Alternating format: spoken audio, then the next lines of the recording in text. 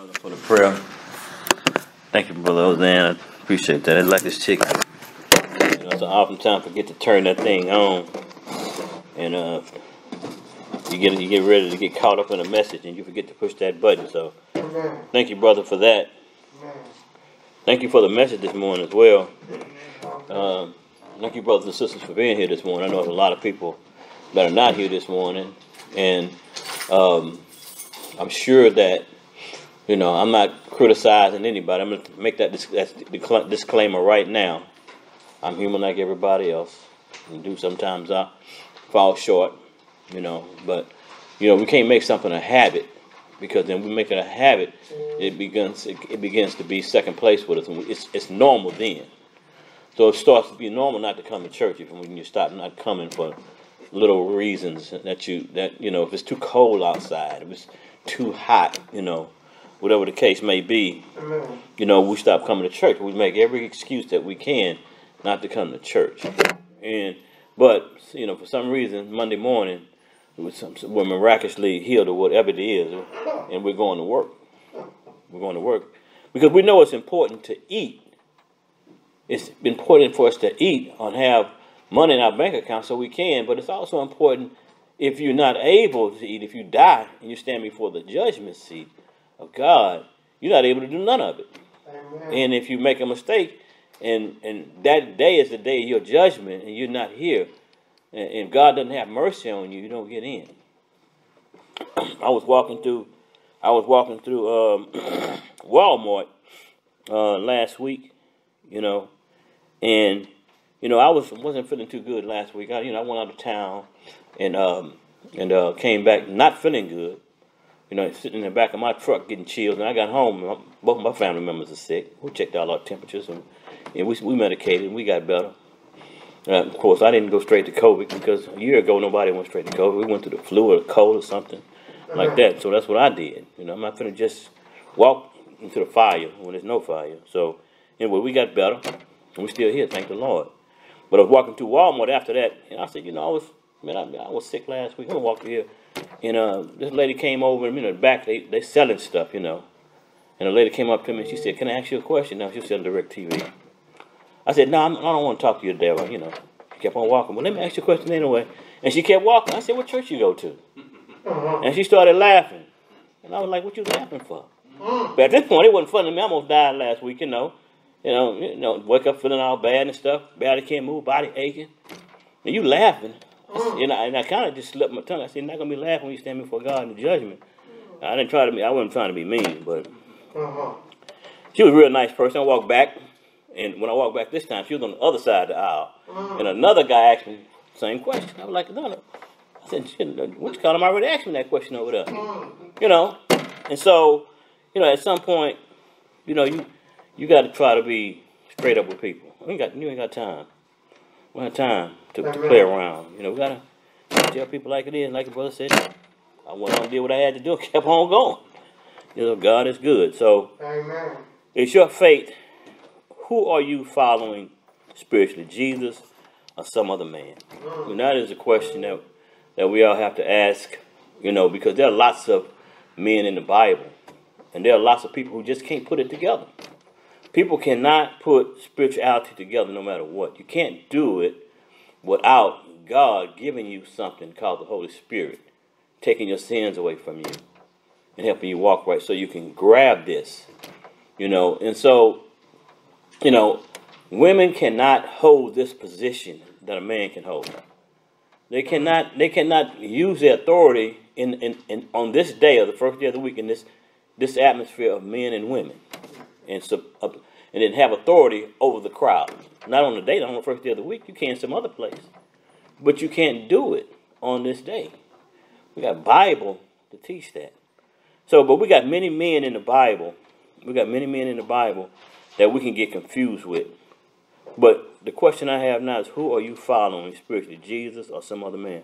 Matthew 16 is where I'm going to get. I don't know if I taught this lesson or this thought but you know, I'm gonna teach it again as if it's another part or another lesson.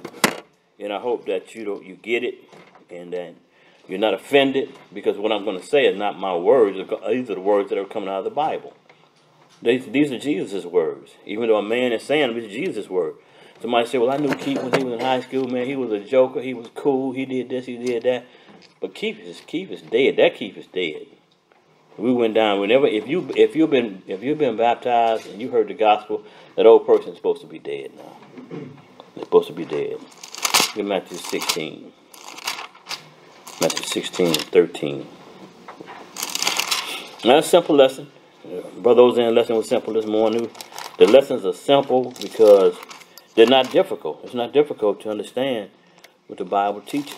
Matthew 16 13.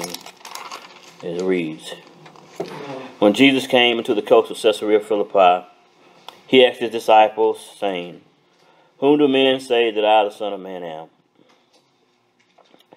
And they said, Some say thou art John the Baptist, some Elias, and others Jeremiah, uh, one of the prophets.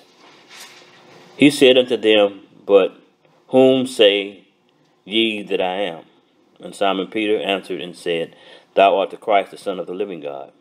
And Jesus answered and said unto him, Blessed art thou, Simon Barjona, for flesh and blood has not revealed it unto thee, but my Father which is in heaven. And I say also unto thee, that thou art Peter, and upon this rock I will build my church, and the gates of hell shall not prevail against it. And I will give unto unto thee the keys of the kingdom of heaven, and whatsoever thou shalt bind on earth shall be bound in heaven, and whatsoever thou shalt loose on earth shall be loosed in heaven. Then charged he his disciples that they should tell no man that he was Jesus the Christ. You know, does, that kind of contradict what he said, what he what he talked about to them? After he told him, he said, After I tell you this, don't tell no man that I'm uh-huh. Jesus the Christ. You know, don't tell nobody what it is that we just read. What we just read. And so he understood that his disciples understood who he was. And even though their faith was lacking, as we and we as we find out, even when they went and, and taught on, on in Acts, their faith was lacking.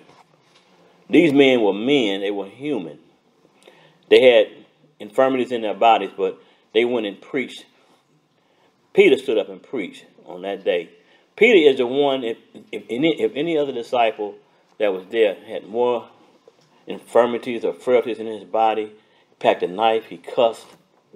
He did all the things that we see most people do today. And but he still, God still put it in his heart to stand up and preach the gospel. Amen. And and and so I mean, these men lived in a different time than we live.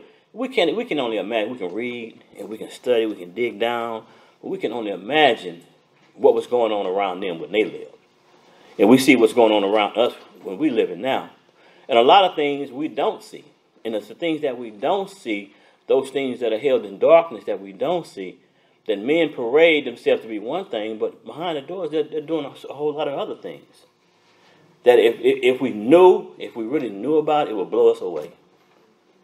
I think it's the one thing in life that we won't tolerate. We won't tolerate any man or, or any woman putting a hand on our children. Right. And if we knew that they were doing that, oh my goodness, it would be it would be all out war. But they can put their hands on us spiritually and put their hands on our children. I mean, physically, and let's not know about it, we, we hold them in high esteem. And this is what really, my father used to say this when I, when I was young. He didn't cuss, but when he, he used to he used to cuss when he was trying to get away from cuss. He said he really chaps my hide. That's one of words he used to be. It really chaps my hide. I could tell when he said that. Yeah, my dad, when he said something, I, I, I know I knew when he was when he was mad, and I didn't mess with him because he said that right there. I'm gonna watch. I'm gonna bite his, little, his bottom tongue when he said that. And so you know, you, you understand when you know when somebody is serious about something. So so I'm saying that to say this: there are many men in the Bible that we know of, and some people in the world cannot put this together. You could you could you could say that they think that Jesus Christ was Noah or Abram, you know, or, or Abraham and I've got I got a little piece of my lesson that talks about all of them as well. But look at Matthew 6. We got to understand we got to have faith. We got to have faith in God. And we know the definition of faith. We found it in Hebrews 11 and 1. It's, it's, it's faith is believing something that you, you can't see. It's, it's having hope in something that you can't see. And so our faith, if our faith is in Jesus, you know, do we have faith? Do we have faith? I remember it's something I, uh, Jesus told the disciples. We're going to read about it in a little bit. I'm, but I want to know, I want us to examine, because it's examination every time we come forward, is to examine ourselves. Is to examine ourselves. And to balance our lives. We got husbands, we got wives, we got children. Right? There's a balance. There also is a um, a, a, a friction or hostility between those two sometimes. And then when it's not a balance, then someone has to bring the, that that relationship in the balance. Amen. And then there's also somebody in the in the relationship that got to say no, yes, because Adam didn't Adam didn't say no. That's right. Adam just went along with the he went along with the program. Went along with the program. Look at Matthew six, three and four. Sometimes you might be saying you might be wondering why is he saying well, Matthew six and twenty four says no man can serve two masters. But either he will hate the one and love the other, or else he will hold to the one and despise the other. You cannot serve two mouths. Two, you cannot serve God and Mammon. God and God and God and money, God and mammon. You know, um, um, we have to understand that we can't serve God and government. I put it that way: God and government, because you know there's an article, there's an article on Google, and I don't, I don't trust, I don't, I start, I stopped saying Google because there's so many others. I've stopped giving them the, the credit. There's on, there's an article on the internet. You can use DuckDuckGo. DuckDuckGo is better than Google. They, they don't, they don't follow you around after you search on them. But listen to this right here. I mean, this is, this is literally on, on, on the, the internet. See, the devil is open now. He's not hiding anymore. He's not. He's all open. Satan's temple challenges Texas abortion restrictions for its members, claiming religious exemption. The Satan's temple wants to abort babies back further in the in the trimester as they go get older in the womb. That's what they want to do. In that church, it says Satan's temple. It says that here. Let me put it right here. I see it right here. Satan's temple. You're not gonna see this on ABC or CBS. You know, they're not gonna show this. So, you know, it's, on, it's, on, it's right here. Satan's temple want to take a child, an aborted child, in not the first trimester, second trimester, down even closer when the baby's, you know, baby, no, the baby's alive when he's conceived. Why would you want to kill a child? Mm. Why? It's just, I, why you want to kill the babies? Martin said, I love the babies.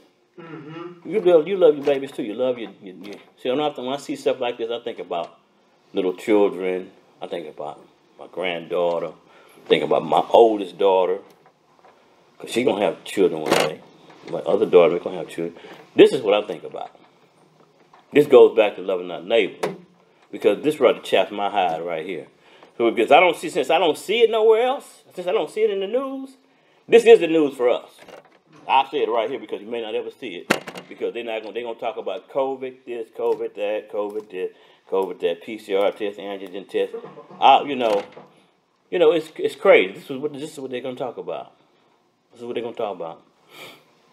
There is a man. There is a man that works at Pfizer. I don't know. His, I don't know his real his last name. He works at Pfizer, but he sits on the board of Reuters. Reuters is the news magazine. Now, what he does when somebody says something against Pfizer, he sits on the board at, at Reuters. It's a magazine, online magazine called Reuters. He says that what they said wasn't true, and they published it at Reuters. He sits on he sits on the board. He works for Pfizer. No, what, is this world retarded? They don't see that on the news either. You see what I'm saying? Who do we serve when we let when we let people motivate us to make decisions? Because our decisions are motivated by what we see and what we hear. And so I'm not downplaying anything. I'm not anti this or anti that, but I'm saying that No. that right there is kind of suspicious to me. Hmm. It really is. You're not saying it on ABC. That's why, you know, my wife told me this morning, I walked outside, and it was cool, and she said, well, you gotta listen to the news sometime, at least the weather, you're right. We used to have a weather channel, it would cost too much to have it, I just go to the weather channel. I don't even wanna see the rest of the news they gotta talk about. I can find that out myself on my own. So anyway, who are we serving? We serve two masters or just one?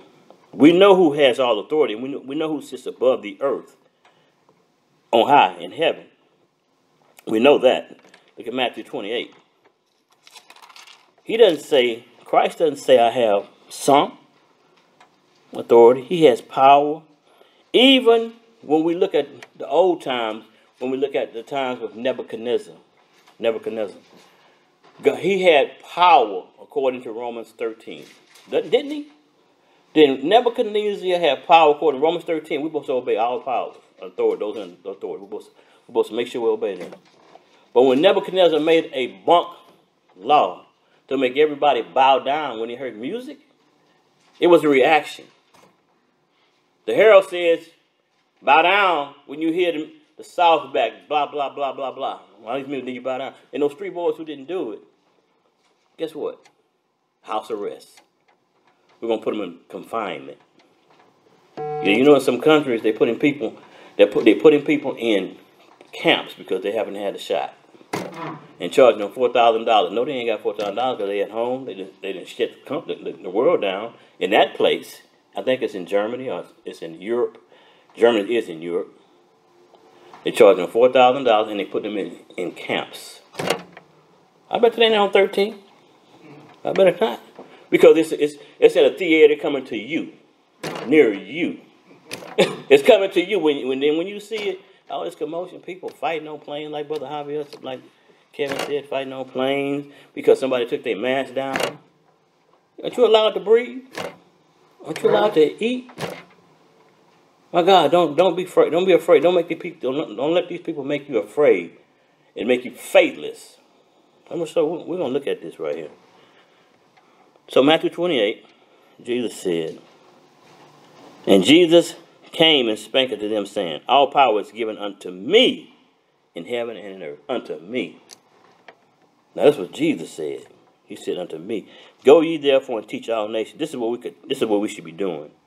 Through all the stuff that's going on, we just should be doing it, teaching all nations, baptizing them in the name of the Father, the Son, of the Holy Ghost, teaching them to observe all things whatsoever I have commanded you. And lo, I am with you always, even unto the end of the earth, end of the world. This is what Jesus is mandating to us. Go and teach. Go and teach. Well, you know what? COVID is getting in the way of that. Don't worry about that. Go and teach. Go and teach. Look at Mark 7. This is what interests me. We talk about we talk about this song that we have. The song that we we sing. We don't sing it that much now because it's not in our book. Uh, what's the name of that song? It's in the last page of the old book we used to have. Our God is alive. Man, I wish we could. We need to take. We need to take and copy that, and paste it in the back. You know, in the back of that book, because we haven't sung it in a, in a while. Is God still alive? If He's still alive, He's still in control. He's still in control. Look at Matthew seven. These Pharisees try to dictate to the disciples. They try to dictate to the disciples how to eat and what to do before you eat in this chapter. God said, Now I got it under control. We're going to read it. We're going to read most of this chapter right to get this out. Mark 7. Then came together unto him the Pharisees and certain of the scribes which came from Jerusalem. And when they they saw some of the disciples eat bread with defiled, that is to say, with unwashed hands, they found fault. Fault. You know what? You know what? Some people eat with unwashed hands. I'm sometimes in the. I don't want to see no. If I go to a restaurant, I see the cook in the bathroom, and he go back in the kitchen. I'm not gonna eat there. I just bought him. I'm not. He should be washing his hands. He work in the kitchen. You know, they got some people on side, some people outside there, you know, hobos, they eat without washing hands all the time. Because they on the street. using needles, having sex with people, all kinds of things. But you know what? I've never seen them on TV talking about it's a, it's a, it's a pandemic out there. It's a pandemic.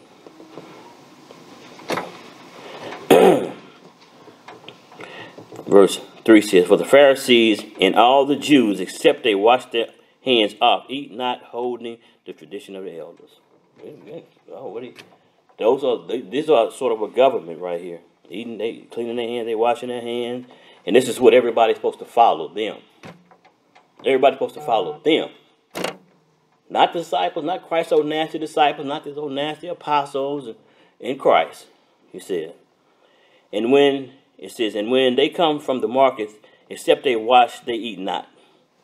And many others things there be which they have received to hold, as the washing of cups and pots, brazen vessels, and of tables. These other things they need to wash them, keep them clean. Keep them clean. Then the Pharisees and the scribes asked him, Why walk not thy disciples according to the tradition of the elders, but eat bread with unwashing hands? It's like the FDA telling you to, you got to wash your hands three times a day, and you got to wash for 20 minutes. And they show you how to wash them like this. You ever go to the bathroom, and see somebody throwing that lather up, washing them hands, getting them dirty. This is like them, making rules. She answered and said unto them, Well has Isaiah prophesied of you hypocrites, as it is written, The people honor me with their lips, but their hearts is far from me. Howbeit, in vain do they worship me, teaching from the, the, the doctrine of commandments of men. For laying aside the commandments of God, ye hold the tradition of men as the washing of pots and cups and many other such things, such like such like things you do.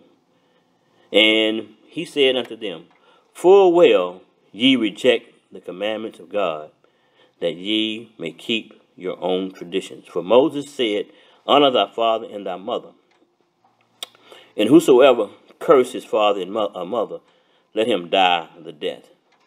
But ye say, If a man shall say to his father or mother, It is Corban, that is to say, a gift, by whatsoever thou mightest be profited by me, he shall be free.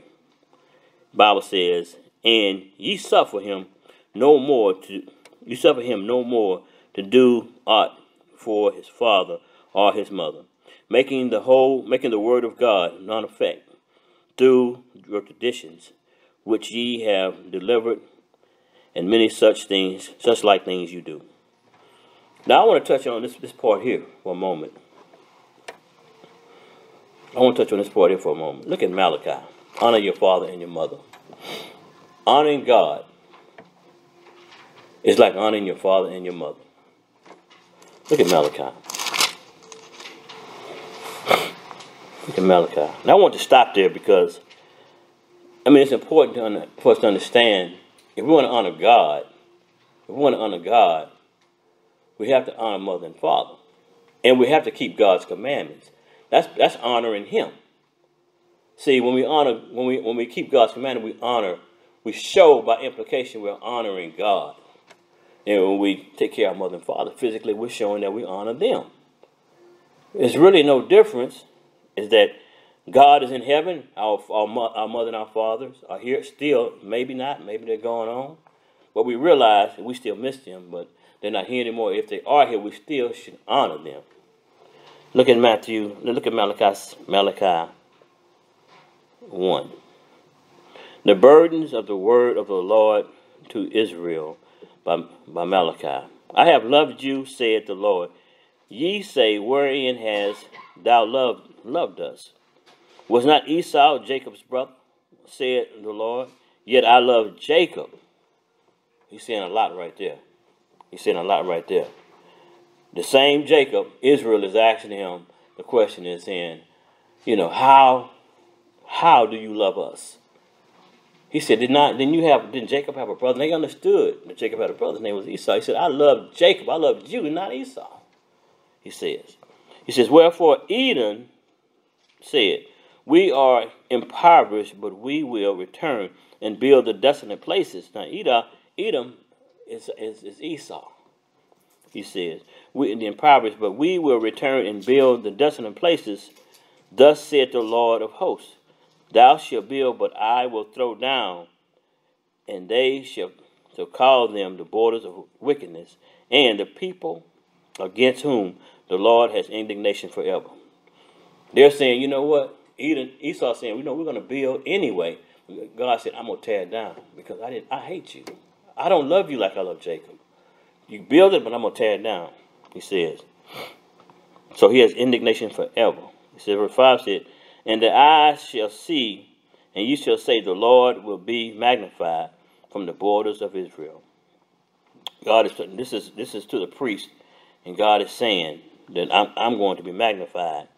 Because these priests right here were offering uh, uh, sacrifices that were unqualified. Lame, broken, blind sacrifices to the Lord, saying his, his holy temple was contempted. See, when we when we offer something to God that's not what he said to do, then we're in contempt. Then we're not honoring God.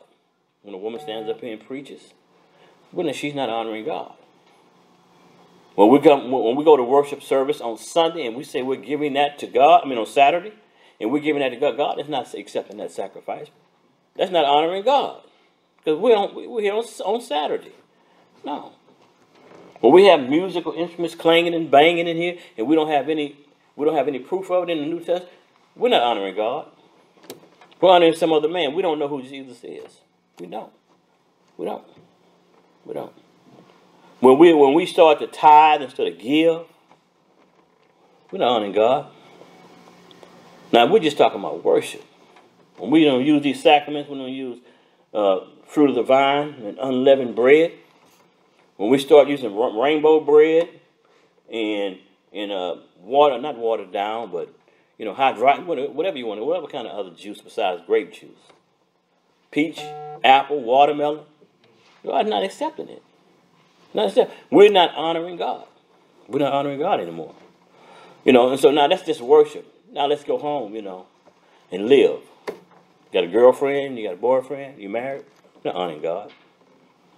You're still drinking seven days a week after work, going to the club, you're not honoring God.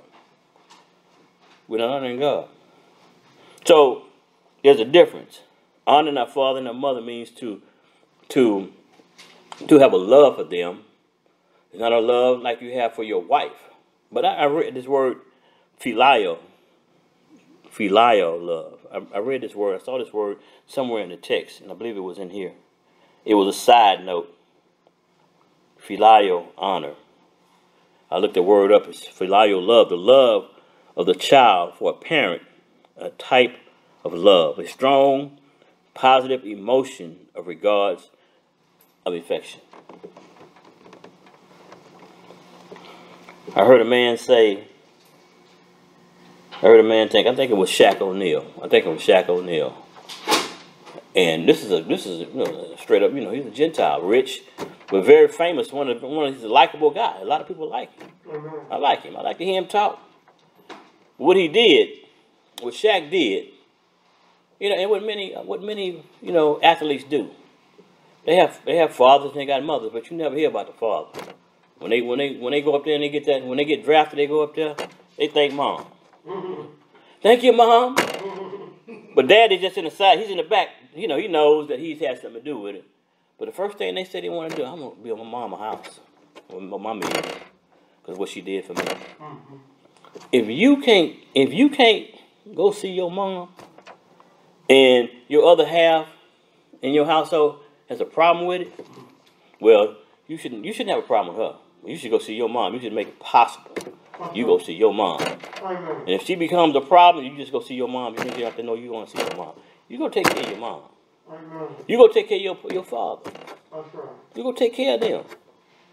You, whatever kind of means you have to keep peace in your household. As long as your house ain't lacking. If your house falling down and you going over there now, okay, my wife, let me talk. Baby, your house falling down now.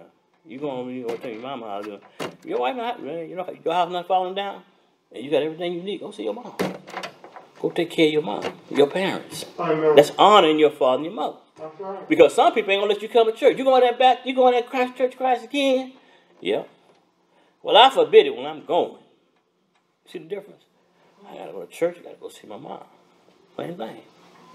That person got to deal with God. That's right. So honor, honor. So so Christ is saying, God is saying right here, Edom, you're gonna build all you want to, but I, I, I love Jacob. You I hate it, but whatever you build, I'm gonna tear it down. That's right. People gonna still build stuff, but God still ain't gonna let it last. God still gonna let you have joy. He's gonna let the rain fall down on you, but sooner or later that house gonna fall because you're not in the right relationship with the Lord. Verse five says, "And your eyes shall see, and ye shall say, The Lord will be magnified from the borders of Israel." Verse six says, "A son honored his father, and a servant his master. If then I be a father, where is my honor? And if I be a master, where is my fear? Saith the Lord of hosts unto you, O priest that despise my name, and ye say, Wherein have we despised thy name? So wicked, so wicked, just like this generation now, not to even know that I'm offering, or you, or you know you're offering these lame and these, these blind sacrifices to the Lord, and you think it's okay. So blind, can't even see. Who are you serving? We are we're supposed to know that. We're supposed to know we're serving Christ. He said, You offer polluted bread upon my, my altar. Ye say, Wherein have I have we polluted thee? Mm. In that ye say, The table of the Lord is contemptible. Polluted bread. Whether it was a wrong kind of bread, whether it was made with leaven instead of unleavened, whatever the case might be, it was polluted. And they knew, they knew what to offer. I know they had enough salt, they had enough flour. I know the Levites were still giving them money. I mean, I mean the rest of the, the tribes were still helping the Levites, still still supplying them with treasury to the, to the treasury so they could still buy things they needed. They had plenty of animals. Some of us don't have any animals. They had plenty of animals. They could get the, the, the, the best, fattest lamb or cow or dove, whatever it was, and bring and sacrifice it, but they didn't. They kept that back for themselves. Obviously. Obviously. Verse 8 said, And if you offer the blind for sacrifice, is it not evil? And if you offer the lame and sick, is it not evil? Offer it now unto thy governor. Will he be pleased with thee or accept thy person? Said the Lord of hosts. You know that that's now I said government first, didn't I? So I said government. So I'm a, I'm, I'm full right to say government in, in Bible because it is right here. Talks about government. Do you honor government over Christ? Mm. Mm. You know what I'm saying? Do you listen to them more? You listen to Christ? Christ said, "I got the germ in my hand." You know, I, I don't have anything. I don't have anything against, you know, what's going on, but I can see the difference in my eye. And I'm nobody. I'm just, a, I'm just an observer. That I'm just observing, you know. But I can see the difference in myself, in others. I use myself. I'm, like, I'm an experiment. I'm a walking. You're a walking experiment. I'm a walking experiment. I don't wear masks. I'm a walking experiment. I'm not dead yet. Because I know for a fact there is no peer reviewed studies that say that they're safe. Peer reviewed studies always come across every phantom of study first. There is none. None. There's none. When I go get my, my medicine, my, my uh, medicine for high blood pressure, they always give me that paper saying this, that, that, and that. This is what you got to watch out for. Always. I don't see that attached to anything else. And well, I understand. I understand. I've been getting educated on how government works. Government mandates mean that that they're mandating something. It's, it's purely something that is something that is a suggestion. Congress is the only one who can make a mandate. They have to make a law. Then when they make a law and say you got to wear a mask, then you know, do it. Because Congress, Congress works for us, the people. You see what I'm saying? So mandates are just mandates. And a company can mandate something, but you don't have to listen to the company, but you got to keep your job. So I understand that. You don't have to. You sacrifice and get you another one. You see, so that's what I'm just saying. That's just knowledge. Somebody may not like it, but that's knowledge. That's just the way it is. It is. That's the way it is. So who are we? Who are we? Who are we following? Are we honoring our Father or are we honoring man? Hmm. Are we honoring man? God is um, God is serious about honoring our father and our mother. He talks about it in the Old Testament. You can write these down as we get ready to close. Acts twenty and twelve. Acts twenty and twelve. I'm gonna read. I'm gonna read. Well, I'm gonna read some of them since we have time. I'm gonna read some of them. He's he's serious about this because he, he says it many times, and in the Old Testament we see it over and over again. Exodus twenty and verse number twelve says, Honor thy father and thy mother, that thy days may be long upon the land which the Lord thy God giveth thee. He says, honor them. Honor them. He says, honor them. Look at look at Leviticus 19. The Old Testament. Old Testament. And then he says in the New Testament, just to cap it off, he goes to the New Testament, he says, honor them. Because God is serious about his honor. He wants to, he wants you to understand, practice this while you're on earth. Honor your father and your mother.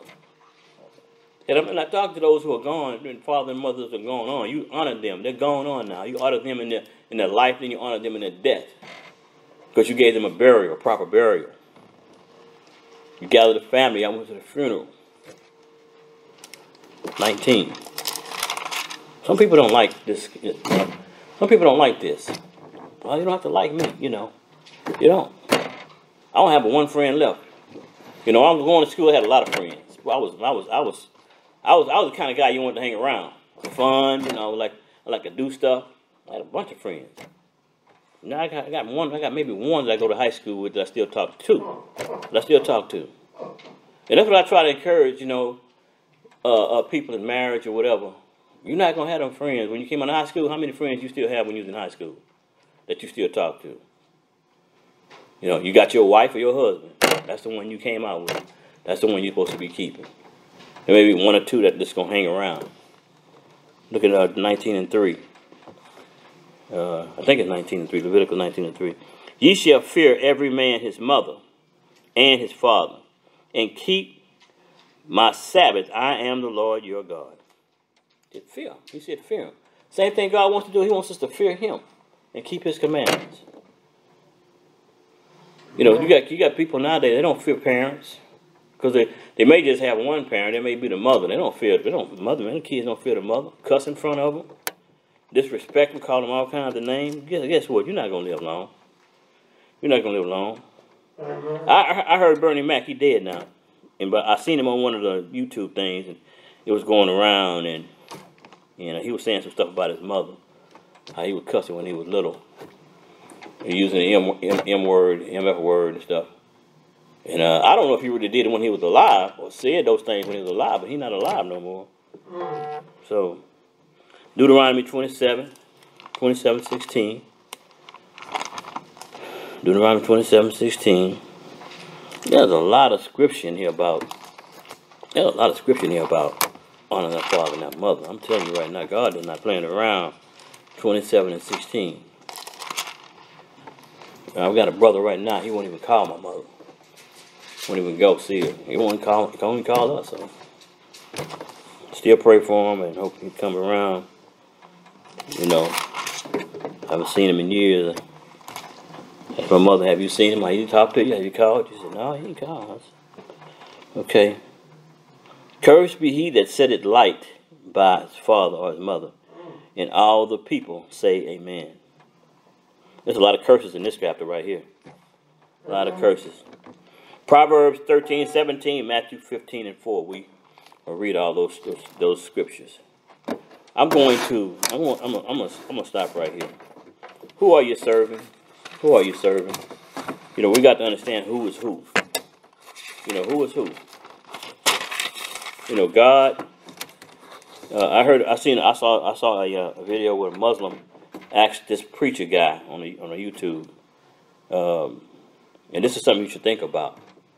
How is it that God can be a man and God at the same time? Jesus, Jesus, they have a big problem with that. How can God be a man and be called God at the same time? Is he God? Is he a man? Let me ask you. I ask the same person to them. Are you a God or and you a man? Bible says that you, you call yourself gods in the Bible, and you use the same scripture. And sometimes you just gotta learn how to flip flip stuff around, trying to get in anguish, and we just gotta ask them, are you are you a man? Mm. Are you a god with the little with the little with the little O- od with the little god? What can they say? What can they say?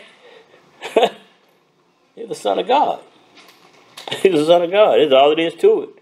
Y'all don't get all difficult and try to go into these deep debates, man. The Bible is what it says. It is. It, it is what it is. Amen. It is, man. You know, we're gonna get we're gonna we're gonna lose our soul trying to think think above how God thinks. Mm. We're gonna lose our soul. You know, it's one scripture I want to look at right quickly. I think it's Matthew 19. I'm sorry, I'm gonna look at it right fast. 19.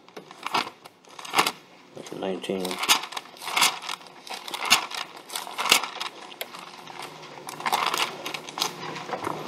19. Nineteen and verse number twenty-six.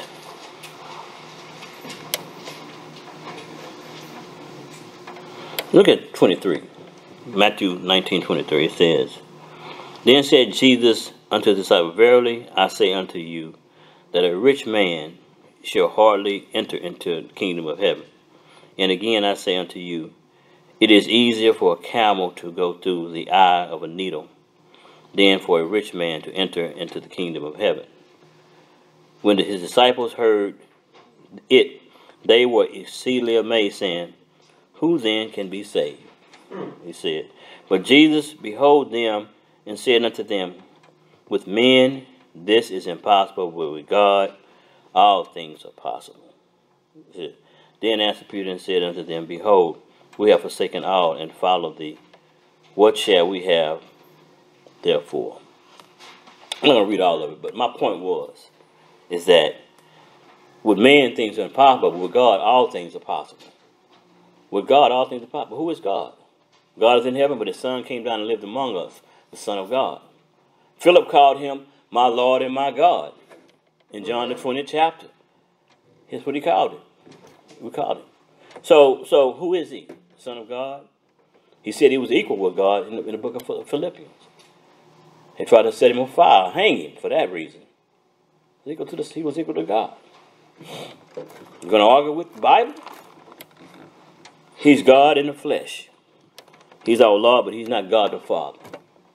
So, so, so, in, in saying that, you know, uh, faith is the substance of things that you don't see. It's the things that hope for. You want, you want to see heaven? You can't see it, but you got to get into heaven. You want to get into heaven, you got to get in how Christ said to do it, and not how Noah. It's not how Adam, or not how Abram before he was Abraham. You can't make a God didn't make a covenant with you.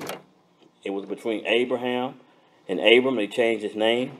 God made a covenant with Noah. Noah built an ark. God told Adam to do something, but he didn't do it. You're gonna try. You go back and try to do any of those things, you're gonna fail. Because you're not Adam and you're not Noah and you're not Abraham. You know, you're not Moses, you're not Elias, you're not Jeremiah, one of the prophets. We're just men. We're just men and women. We're just trying to survive and we're trying to make it. So therefore, in order for us to to receive the prize, we must obey the gospel. We must obey the gospel. And we, we understand it in Matthew, uh, 1 Corinthians 15, 1 through 4. Once we understand what the gospel is, we must believe it. Mark 16, 16 says, He that believeth and is baptized shall be saved.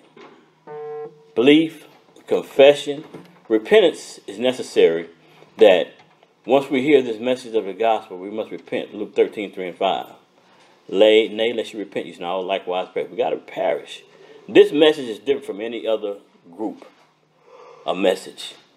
We got, we got some we got some tracks out there, the one true church.